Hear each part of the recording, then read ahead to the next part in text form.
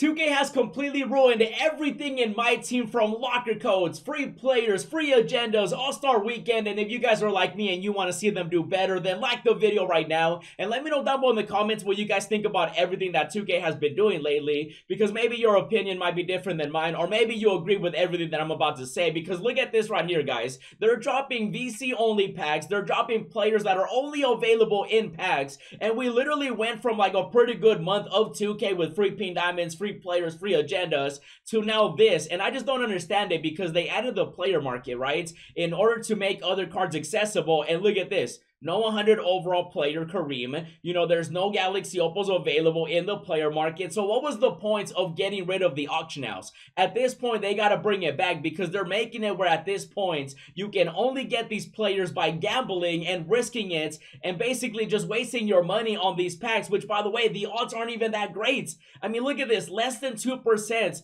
at a Galaxy Opal and the 100 overall could be like 0.01% for all we know. They don't even disclose everything and every everybody has been complaining, and their answer was to drop this right here. 200,000 VC equal chance Galaxy Opal pack for obviously an equal chance at every single Galaxy Opal starter for All-Star Weekend. And not everybody can afford to open packs, bro. That's why I do my own giveaways. If you guys saw the previous videos I've been uploading, I'm doing giveaways for the equal chance packs. I wish I could give everybody a free Galaxy Opal. The only person that can do that is literally 2K themselves, but they choose not to. They would rather charge the community $50, 200,000 Instead of giving us a free Galaxy Opal or a way to earn it by playing the game. You can't even earn these players by playing the game anymore because they're not in the player market. They're only in the packs. And I was telling everybody to save their MT, save everything because I figured 2K was going to add all these players to the player markets and no, they didn't. Like, I just don't understand it, bro. If they got rid of the auction house to make more cards accessible, then why are they only in packs? In previous 2Ks, you know, I will say, you know, everybody was able to get the players from packs, but if you didn't get them from packs, you can go into the auction house and either snipe them, you can just buy them through there and stuff like that. But now, with no auction house, with only the player market, the only option you have right now, if you were to want to get Kareem, the 100 overall, which by the way, they completely just skipped a dark matter. They just went from pink diamonds to galaxy opals and then 100 overall, which is wild because you can see that 2K just wants our money. And it drives me crazy because at the moment, I'm on my no money spend account, right?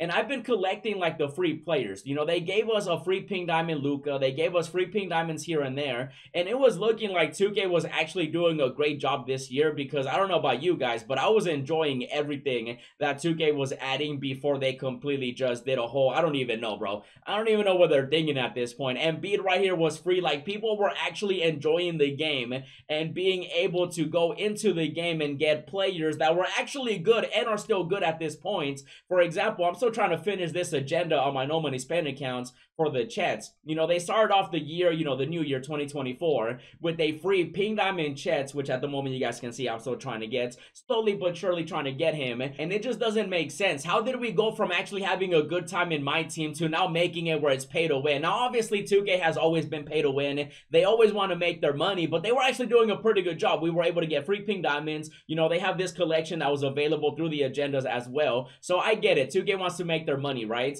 But they were already making their money and also releasing, you know, all-star players for free, which I actually did enjoy the free players, even though they weren't anything too crazy, especially now looking back at it, actually, with 100 overalls coming in Galaxy Opals, they definitely could have made the free players a lot better, but you can get a free pink diamond from this too. This is still available. You know, they do have the free equal chance pink diamond pack, but this one you do need to get, you know, certain players, even though you can pick up the series players. And so it just drives me crazy that 2K could actually add stuff like this but then when it comes to the best players, they're putting it behind packs only. And it's literally, that's the only way. You can't, you know, buy it in the player market. You can't snipe it. You can't buy it in the auction house because it's gone. And so 2K literally went from, you know, these free pink diamonds. You know, they were doing a pretty good job, like I said, bro. You know, they had pink diamonds in every single game mode. Literally every single one, a pink diamond that people could earn by playing the game.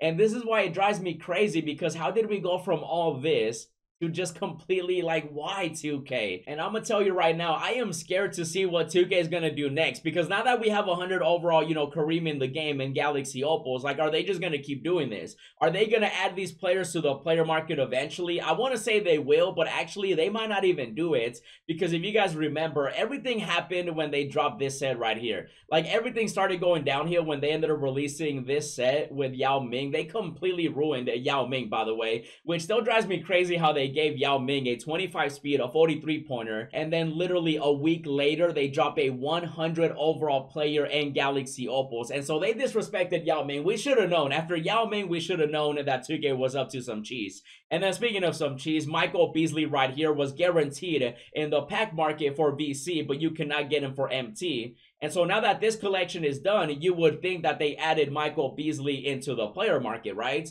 And look, I'm pressing X. Well, you can't see my controller, but I'm pressing X and you can't buy him. You know why? Because he's not in the player markets. If you were to search him right now, he's not in the player market right now. And so that means that 2K might not even add the Galaxy Opals to the player markets. There's the Amethyst one right here, but you can't get the Pink Diamond. That was only available through packs. And so that just leads me to believe that Kareem is only going to be available for the people that want to spend money. And I understand that 2K needs to make their money for their shareholders and stuff like that that. Like, I totally understand that, but that still doesn't mean that they have to, you know, screw us over like this. Like, why is it only through packs that we can get the best players? And even if you spend money, you're not even guaranteed to get them. That's what's even crazier. You have an equal chance, not even an option pack. You don't get to decide which Galaxy Opal. You literally spend 50 bucks for an equal chance at all the players. So if you end up getting somebody like Lillard, then you just played yourself. You know what I mean? Like it just doesn't make any sense. Why 2K just completely wanted to ruin everything. And so they were doing that with these players in the player market.